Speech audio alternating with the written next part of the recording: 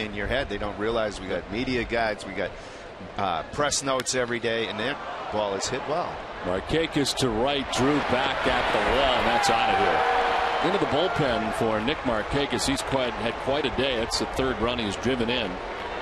As it is home run number 12 for Markakis. And the Orioles are on top now, six to nothing.